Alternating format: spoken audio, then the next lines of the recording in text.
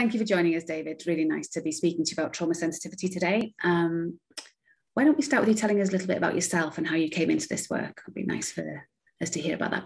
Yeah, sure. So um, I grew up in Canada and was really interested in both psychology and meditation. So trained as a therapist, we also had a pretty serious meditation practice, and um, and it ended up at some point, uh, maybe ten years into my sitting journey, having a couple challenging experiences in practice that um, kind of sent me on a path about trying to understand what was happening in my practice. And long story short, is I ended up um, doing some work uh, personally in trauma work, and I was finding that the um, the interventions that I was um, going through and the, the lessons that I was learning was were so relevant for what was happening in meditation.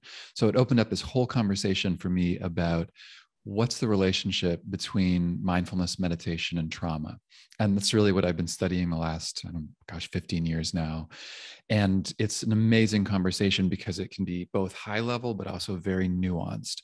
Um, so that's how i came here and eventually wrote a book on the topic called trauma sensitive mindfulness and have been lucky enough to get to teach a lot of people about basically how to work well with trauma when it comes to meditation and other contemplative practices yeah. How, how, how long ago was that book? Because it feels like you've been pioneering this space. So it feels like it was a long, long time ago, but possibly.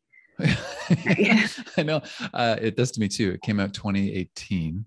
Okay. Um, and the writing was 2012 to 2018. But to your point, a lot has changed in the field. When when I started, trauma it was kind of a newer topic in some ways to, to, to some people not everyone. And now there's a real heightened awareness about the importance of trauma basically uh, i think because of social conditions right now. So the field has changed and evolved and a lot of people are still um, studying trauma sensitive mindfulness and it's it's an exciting time